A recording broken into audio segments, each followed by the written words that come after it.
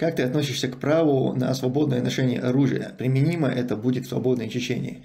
Я считаю, что это вообще должна быть такая основа нашего э, законодательства, как в Америке. Вот у них это у них прям закреплено в Конституции.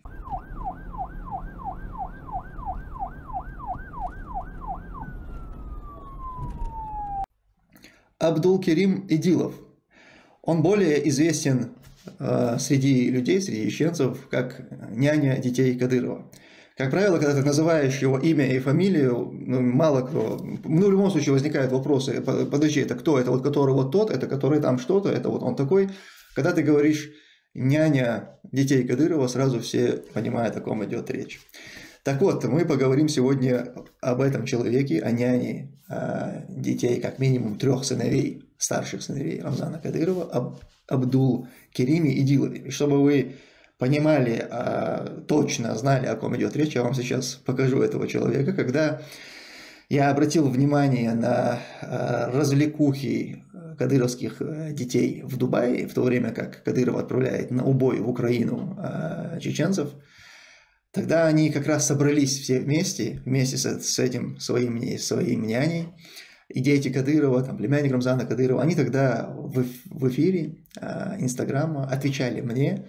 И вот я хочу обратить внимание на то, что сказал мне тогда Абдулла Карим Адилова на чеченском, но я потом переведу.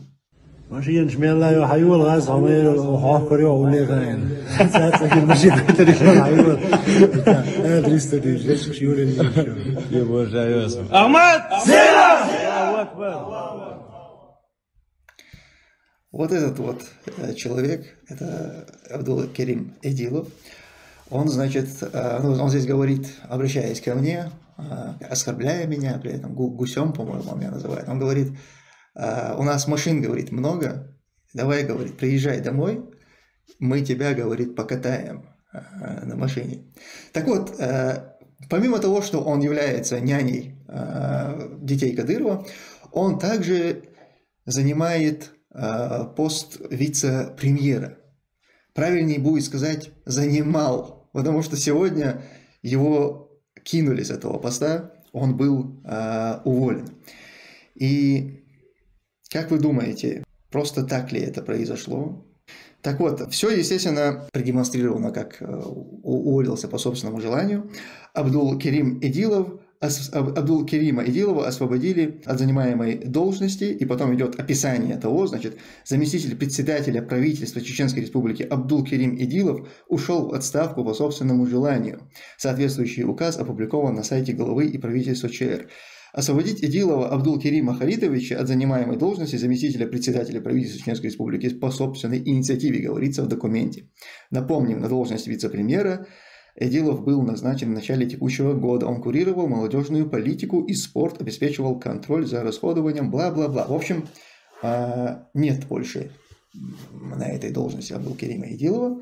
И помимо того, что есть вот официальная версия, есть еще и неофициальная информация, которая поступает за что и как, не знаю, но парень, э, как говорят в Кадыровской Чечне, говорят, отодвинули, да, детно, вот его отодвинули, все, а его отодвинули, видимо, и няня у детей Кадырова теперь будет, а няней будет другой человек, и занимаемой должности он лишился, и, все, и всего нажитого а, за долгие годы непосильным трудом, он тоже, по информации, поступающей ко мне, лишился.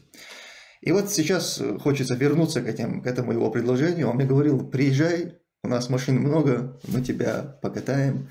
Вот я теперь хочу великодушно а, предложить Абдулкериму Идилову то же самое, протянуть ему эту руку помощи.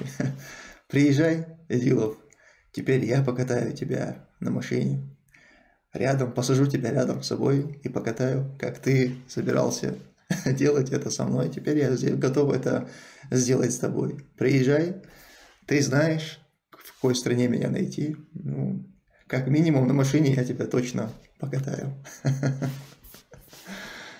С возвращением чеченцев из депортации в 1957-м русское население начало сокращаться и к началу войны уменьшилось с 300 тысяч до 80 такие дальновидные были, что так заранее уезжали, или все-таки был геноцид?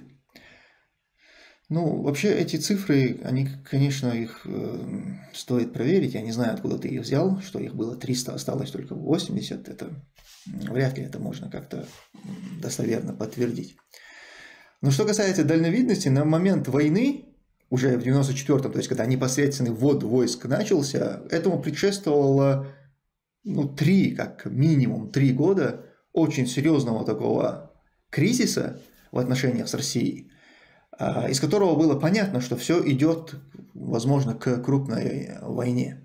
Поэтому ну, нет ничего удивительного в том, что русские люди, которым было куда уезжать, в отличие от чеченцев, у которых не было какой-то другой родины, каких-то других родственников где-то, куда они могли бы уехать. А, неудивительно, что русские, русскоязычное население оно начало выезжать на, на протяжении этих трех лет. Конечно, эти цифры навряд ли соответствуют действительности, но значительное количество русскоязычных людей, они, разумеется, выехали, не дожидались ввода э, войск. А, но, тем не менее, на момент начала войны немало русскоязычных людей было э, на территории Грозного и рядом. И немало русскоязычных людей погибло от российских бомб, от российских артиллерий. Так что в этом плане они, конечно, разделили все, все, все то горе, которое мы понесли. Но э, утрировать эту тему, пытаясь как-то обосновать тем самым геноцид, ну это как, как минимум крайне нечестно. Конечно, геноцид это когда по национальному, этническому признаку уничтожается, э, уничтожается народ, уничтожаются люди. Ну, это когда даже где-то что-то криминальное происходит, это не называется геноцидом, а тем более, если люди бегут от войны, им есть куда бежать, ну, при чем здесь геноцид?